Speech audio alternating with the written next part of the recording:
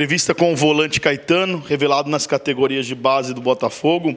O Botafogo se prepara para a decisão de domingo contra São Bernardo, segundo jogo da final da Copa Paulista. Caetano, a primeira pergunta para você. Sem o Bolt suspenso pelo terceiro cartão amarelo, você já foi confirmado pelo Samuel como titular? Primeiramente, bom dia. Bom, com a saída do Bolt, ainda não tem nada resolvido. Tem meus companheiros, o John, o Djalma, os meus companheiros que jogam ali na mesma função que eu.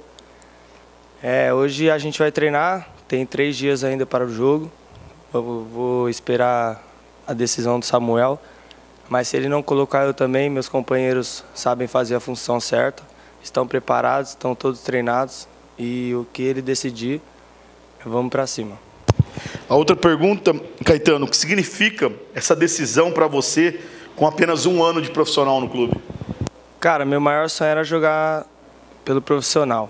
E disputar meu primeiro título é coisa que eu só tenho a agradecer a Deus.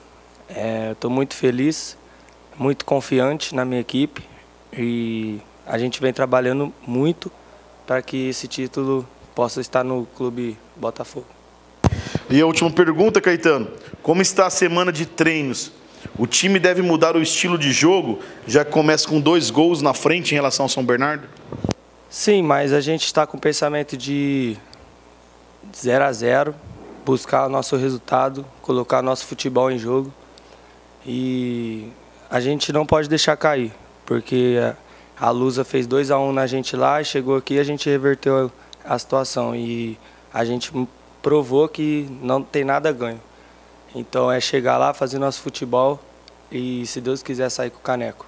É o momento mais especial, sim, da sua carreira até agora, com um ano de carreira, Caetano? Com certeza. É, estou vivendo a melhor fase da minha vida e tenho a agradecer muito a Deus, a minha família, aos meus companheiros.